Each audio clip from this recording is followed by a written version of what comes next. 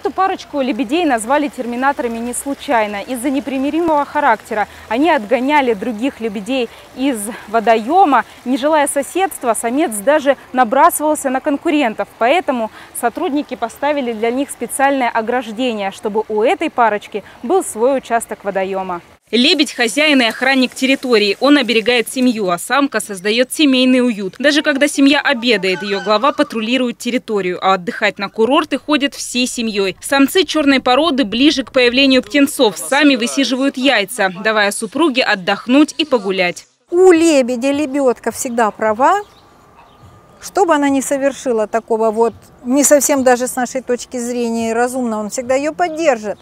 И наоборот – и все-таки легенды о лебединой любви несколько преувеличены. Все дело в прагматичности. Перед зимовкой птицы должны успеть создать пару, занять территорию, свить гнездо, высидеть яйца. После рождения птенцов тем более некогда посматривать налево и флиртовать. Этих черных лебедей назвали Аксиньей и Григорием из-за перипетий в отношениях. Пару лет прожили как соседи. То ругались, то мирились. Ксюша даже поглядывала на соседа Терминатора. Но в итоге решили, надо пользоваться тем, что есть, и стали парой. Еще один забавный случай лебединой прыткости недавно произошел в зоопарке.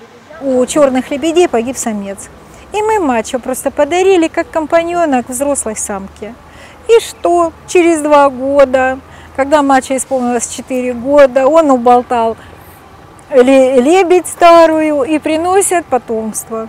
И все равно у этих птиц есть чему поучиться людям. Лебедь никогда не предаст и не даст семью в обиду, а птенцов учит бережливости и дисциплине.